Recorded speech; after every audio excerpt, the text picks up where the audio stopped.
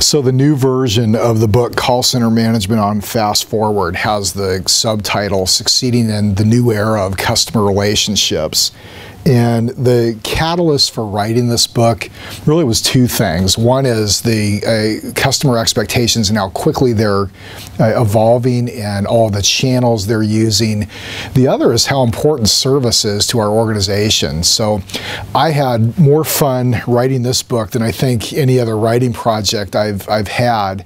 And two things really kept coming to mind. One is how much things are changing. Wow, we've got social media, we've got all these channels, we've got um, things on the organization side that are being restructured and metrics that are that, that we're rethinking and lots of change. The other thing though was uh, how little the fundamentals are changing.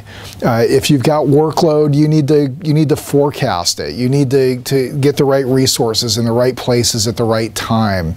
Uh, things like customer satisfaction and, and loyalty and empowering our people and and really managing resources. The fundamentals aren't changing, and that's great news. So we have to apply them, get to apply them to a, a, a new, a quickly evolving world. But it's an exciting time, and if you know the fundamentals well, this new environment's going to feel uh, very familiar, you're going to be very effective in it.